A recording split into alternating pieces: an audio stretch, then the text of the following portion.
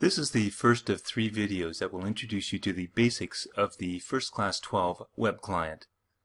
All the FirstClass objects that you can access are available through your FirstClass desktop. It's the first thing you see when you connect to your server. In this video, we'll talk about the overall desktop, opening and closing items, the home page, favorite places, the navigation bar, recent places, the preferences menu, and your profile. The desktop is divided into panes that contain different types of information. Most of the panes in the sidebar collapse and expand to reveal information you want to see.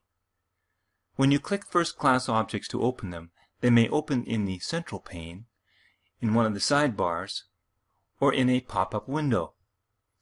In pop-up windows, you see resize indicators below the windows, and you can drag the indicators to change the size. Objects displayed in any of these places can in turn be clicked to open them.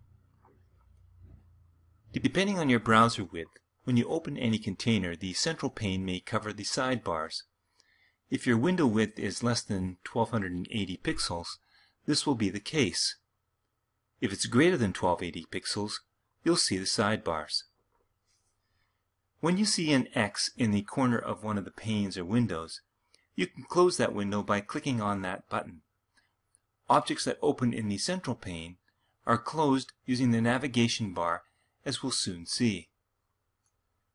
The middle section of the central pane shows all the conferences, communities, and other containers that you share with others in alphabetical order. This is your home page. To open one of these containers in the central pane, click it. Your home page includes a menu in the top right corner that allows you to create containers on your home page and view containers that you recently deleted. When you open a container in the central pane, it is also represented in the navigation bar above the central pane. If you open a subcontainer, the full path to the subcontainer is shown on the navigation bar.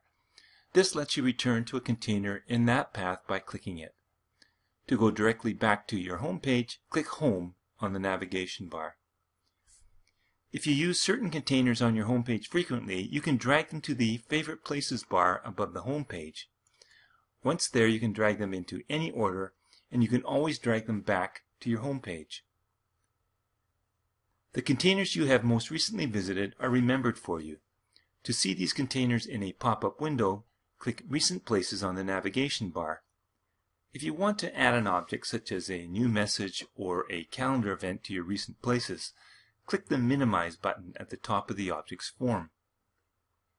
To remove an object from the pop-up, click the X button beside it. Recent Places provides a handy method for moving or copying items. In another video, we'll show you how you can use the Recent Places to move items from one container to another. In the next video, we'll explore some of the other objects and panes that you see on your FirstClass desktop.